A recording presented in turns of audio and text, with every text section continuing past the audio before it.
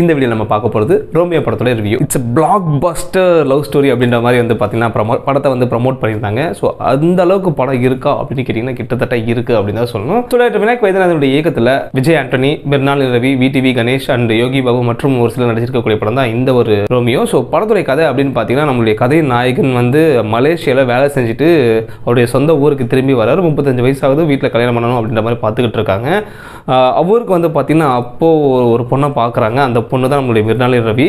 So அவங்களுக்கு என்ன அப்படின்னு பார்த்தீங்கன்னா சினிமாவில் மிகப்பெரிய ஒரு ஹீரோயின் ஆகணும் அப்படின்ற ஒரு ட்ரீம் ஆனது இருக்குது அது தெரியாமல் நம்ம ஹீரோ கல்யாணம் பண்ணிக்கிறாரு. ஹீரோவுக்கு தெரிய வருது. அவங்களுக்கு வந்து இந்த மேரேஜில் விருப்பம் கிடையாது. அவங்க சினிமாவில் வந்து பெரிய ஹீரோயின் ஆகணும். அதுக்கான உதவி வந்து செஞ்சுக்கிட்டு இருக்காரு. ஒரு கட்டத்தில் வந்து அவரும் ப்ரொடியூஸ் பண்ண ஆரம்பிக்கிறாரு. அந்த கதைக்கு வந்து நான் தான் ஹீரோவாக நடிக்கணும் அப்படின்ற மாதிரி சொல்கிறாரு அந்த அவங்களுக்குள்ளாக வந்து காதல் மறந்து மலர்ந்ததா இல்லையா? ஸோ என்னென்ன நடந்தது அப்படின்றத படத்துடைய கதை. ஸோ இதை வந்து விநாயக் அவர்கள் ரொம்பவே நீட்டாக ப்ரெசென்ட் பண்ணியிருக்காரு அப்படின்னு தான் சொல்லணும். ஹஸ்பண்ட் ஒய்ஃப் மட்டும் கிடையாது. அதை தாண்டி நிறைய நிறைய விஷயங்கள் இந்த லவ் அப்படின்றது இருக்கு அப்படின்றத ரொம்பவே அழகாக காட்டியிருந்தாங்க. ப்ரீ கிளைமேக்ஸ் முன்னாடி வரக்கூடிய பிரதர் அண்ட் சிஸ்டருடைய எமோஷன் சீன்ஸும் சரி.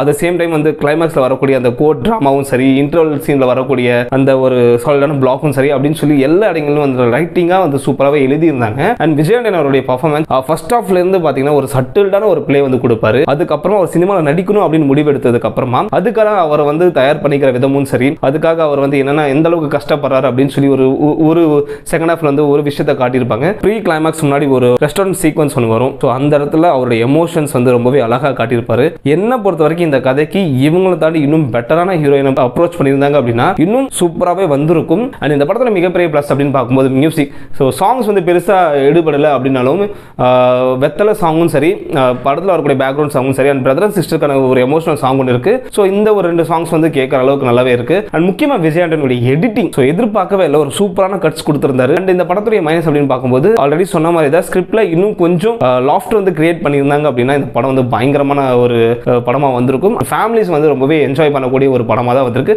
ஏதாச்சும் நல்ல படம் பார்க்க விரும்புறீங்க அப்படின்னா கண்டிப்பாக இந்த படத்தை நான் சஜஸ்ட் பண்ணுவேன். போய் தியேட்டரில் போய் பார்த்து என்ஜாய் பண்ணுங்க. இந்த ரிவ்யூ உங்களுக்கு பிடிச்சிருந்தா லைக் பண்ணுங்கள் ஷேர் பண்ணுங்க. மறக்காம தமிழ் யூடியூப் சேனலை சப்ஸ்கிரைப் பண்ணுங்க